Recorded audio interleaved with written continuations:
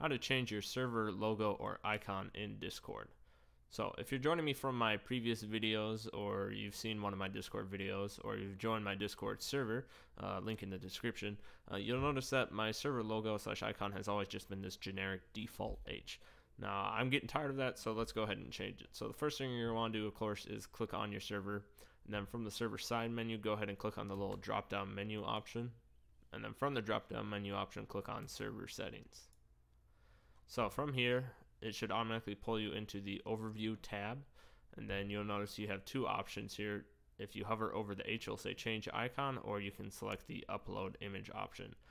Now, it's weird how it tells you this, but we recommend an image of at least 512 by 512 for the server, but the absolute minimum it can be is 128 by 128. So we're going to go ahead and click on upload image.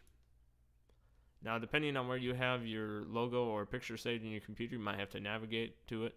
Uh, for mine, I already have mine pulled up here, so I'll go ahead and select open.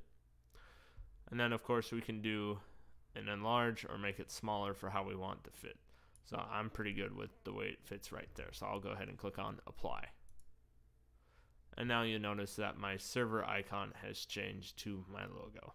And of course, I can also do this by just clicking on the change icon option. So we'll go ahead and escape here. Oh, always make sure you do save changes as well.